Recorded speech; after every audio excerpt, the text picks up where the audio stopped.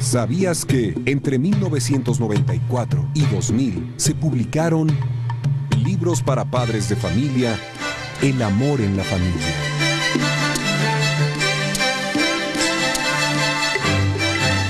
Expone los valores universales para una interacción familiar en armonía. Integra a los diferentes tipos de familia para su pleno desarrollo.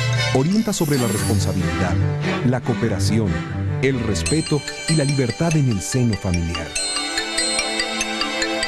Brinda información para tratar el despertar de la sexualidad. Facilita el entendimiento de la disciplina y la igualdad entre niños y niñas. Secretaría de Educación Pública.